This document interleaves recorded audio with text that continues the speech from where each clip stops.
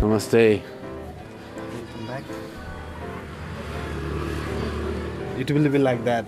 It'll be like that. Yeah. So whatever, uh, which color I want, really want to make, so that will become. So before everything was plain white T-shirt.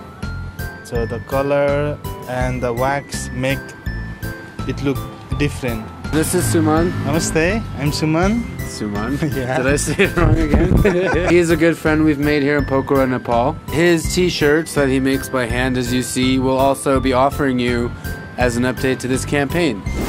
So right now he's making Buddha eyes. Yeah.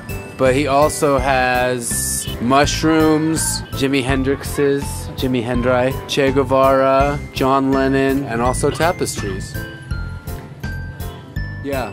So Suman works very hard. He makes beautiful art, and you can have a chance to have one of these T-shirts on your body in no time at all, just as long as it takes to click that contribution button and put in your address, um, get the money to him, and then ship it over to wherever you are. This shirt can be on your body in that much time. So, anything you want to say to the people out there? I want to say hi for everyone. And Jordan and she work a very good uh, job. So we should help uh, for each other. Thank you. Cool.